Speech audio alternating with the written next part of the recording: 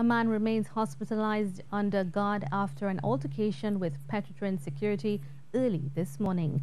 According to a release from the state company, Petrotrin's Estate Police detained an intruder who breached the fence bordering the company's Pointe-à-Pierre refinery. A release from the company states that the incident occurred around 1.30 a.m. in a secure area of the refinery.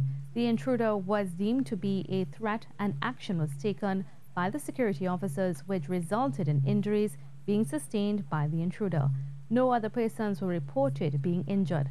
The Marabella Police Petrotrin's Fire Department and Emergency Health Services were immediately notified and taken to hospital for treatment. Investigations into the incident are ongoing.